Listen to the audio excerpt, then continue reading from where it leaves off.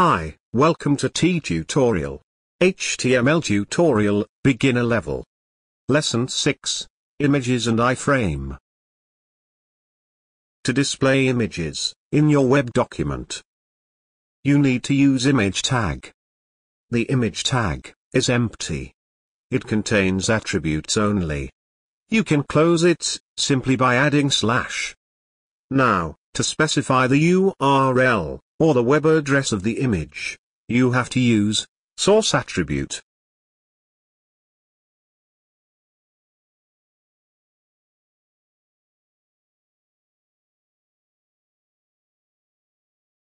It is common to store images in a subfolder.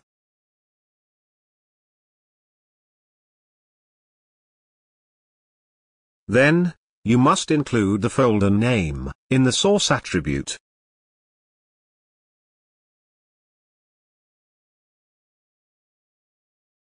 Some websites store their images on image servers. Actually, you can access images from any web address in the world. If the user, for some reason, cannot view the image because of slow connection, or an error in the source attribute, or if the user uses a screen reader. In that case, you should have alternative for your image. Well, there is a handy attribute for this reason, which is alt attribute. If the image cannot be displayed, the alternative attribute specifies an alternate text for an image. Remember that the alt attribute is required Without it, a web page will not validate correctly. Always, specify the width and height of an image. If width and height are not specified, the page will flicker, while the image loads. You can use the style attribute, to specify the width and height of the image.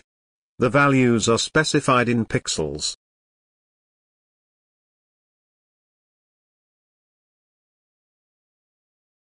Alternatively, you can use width and height attributes. Here, the values are specified in pixels by default. It's recommended to use the style attribute for specifying images width and height, because it prevents style sheets from changing the original size of images. The image can float to the right or to the left of a text. To let the image float, use the CSS float property.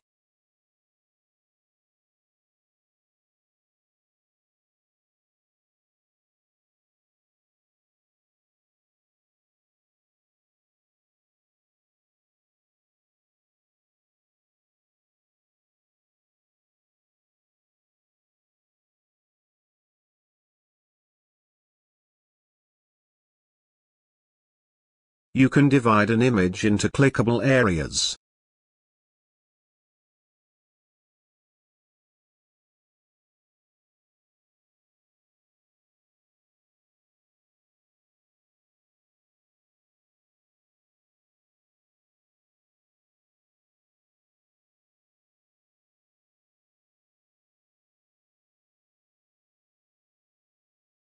You can divide an image into clickable areas. By using image map. To define an image map, use map tag. First off, you should have an image called already. Because map tag works according to that image. The relationship between them depend on special attributes. Use map attribute on image tag defines the image to be mapped.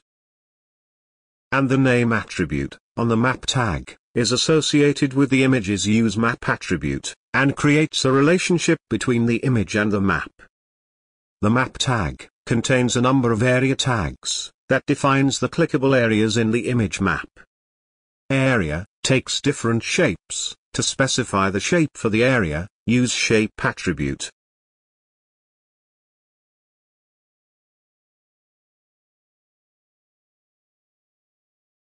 Now, to define the coordinates for the rectangular area, you need to know two points. First point. Second point.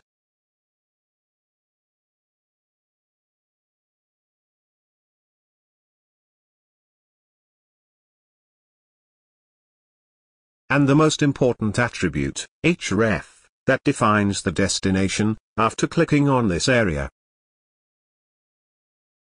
For the circle area, you must define the center of the circle.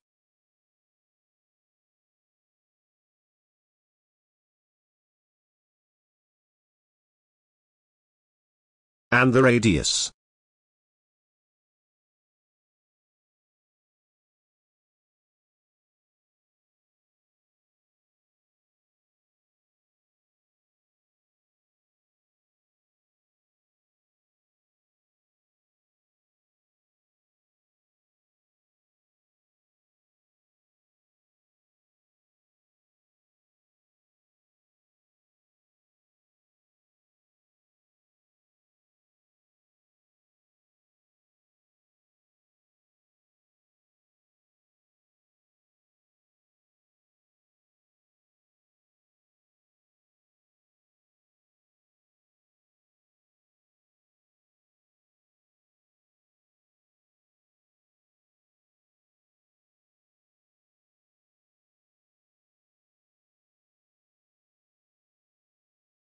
Remember, loading images takes time. Large images can slow down your page. Use images carefully. And add border 0 to prevent Internet Explorer 9 and earlier from displaying a border around the image.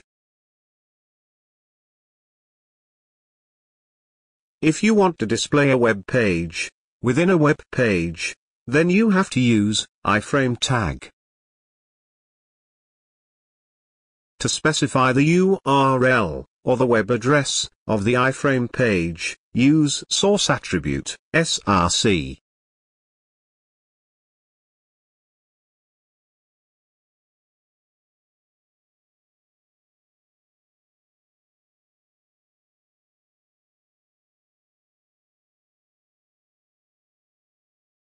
To specify the size of the iframe, use the height and width attributes.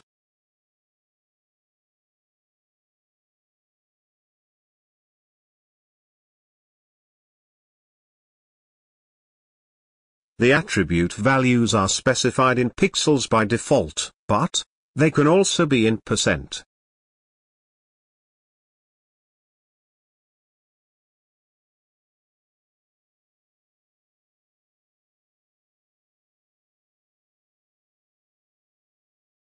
By default, an iframe has a black border around it. To remove the border, add the style attribute, and use the CSS border property.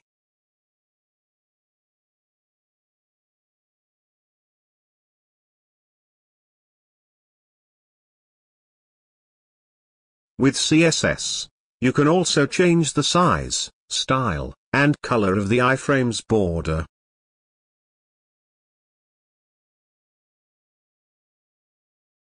This is all for today's lesson.